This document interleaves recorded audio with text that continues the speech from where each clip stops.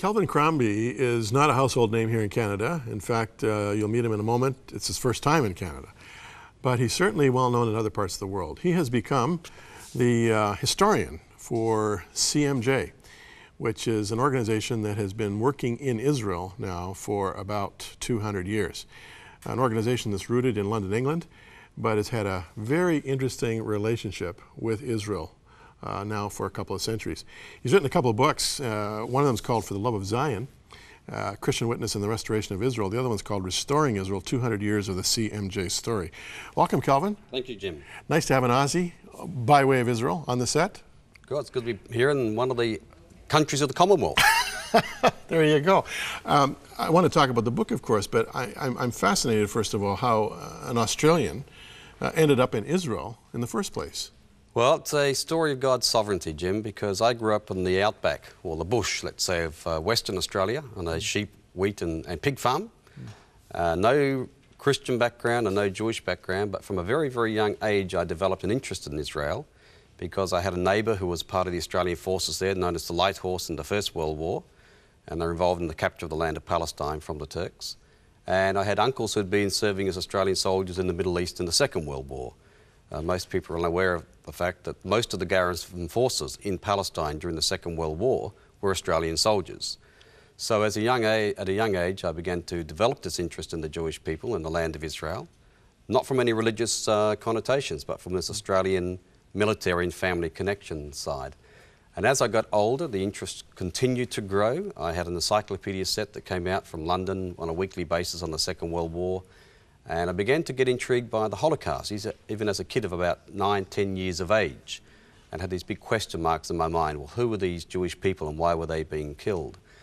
Then in 1966, I believe it was, an Israeli family came to live in the same area. Now, this was a very, very remote area of Western Australia. And we never saw foreigners. So suddenly, an Israeli family came to live there for two years, and I got to know the kids and collected their postage stamps the Six Day War came along when I was 10 years of age, and I used to collect the articles from the newspaper. My father came in once, he'd been an Australian soldier in the Second World War, never spoke about war. And he made a comment after listening to the news. He said something like, Well, son, looks like I might be going back fighting, or something like that. So, all those things gathered together created in me, by the age of 15, an interest in Israel, going to Israel. A school friend once told me that at the age of 15, I told her that I would go to Israel. And I was um, determined to go there, but I was searching at the same time, searching for an answer to life. Didn't think I would find it in Australia. I went to study history at the University of Western Australia, but pulled out after a year and a half. I didn't want to just study things from books. I wanted to go and see the actual places I was interested in. So, much to the consternation of my parents, I went back to the farm and saved some money, and in 1978 set off overseas, ostensibly to go to Israel, but I travelled through Europe first. I wanted to live life to its fullest because I knew deep down that I'd actually find the answer to life in Israel. Now, I didn't know what that answer was, but I knew it was in Israel. I finally got there at the age of 21 in 1979, went to a kibbutz in the northern part of Israel. And at that stage, a few Katyushas were coming over, so most people weren't going there, but being a, you know, who I was, I went up there. And from that time onwards, my love affair with Israel just continued to grow. But at the same time as it began to grow, I also felt this yearning to find out what it was that really had pulled me to Israel in the first place, ever since I was a, a young kid. And so at one stage, I really wanted to, to become a part of the community of Israel. See, I could sense there was something dynamic there, something real, which I didn't find in Australia, either on the farm or in the city. But I wanted to be a part of whatever this was in Israel. I listened to the stories of many people who had survived the wars and the Holocaust and whatever else, and I wanted to become a part of that. So I began to consider uh, conversion to Judaism, not for any religious reasons, but just to become an Israeli, serve in the army, and so on and so forth. But halfway through that process, actually, I was talking to an English guy who was converting at the same time, and he was telling me what's involved reading of the books, studying all the rabbinical stuff, going before the rabbis, then having an operation on a certain part of the, the anatomy, and you know, won't go any further than that. So I suddenly began to realize hey, this is not an easy. Um, straightforward thing. So at that stage, I sort of dropped that idea, but then I had nothing to fall back onto. So I still wanted to live in Israel, but there was nothing else taking its place. And in Hebrew, we have a word called dafka, which basically means dafka. It means, you know, at that time, a Christian girl came to the kibbutz from California, and I think five minutes after she got there, she began to witness to me about Jesus. And I said, Hang on, I, I don't want to hear about this Jesus. It's not for me. I said, If there's a God, He's the God of Israel and the Jewish people, not all this Christianity stuff. I had no interest in Christianity. For me, it was all just a system of, of hypocrisy from what I'd seen from the cathedrals, etc.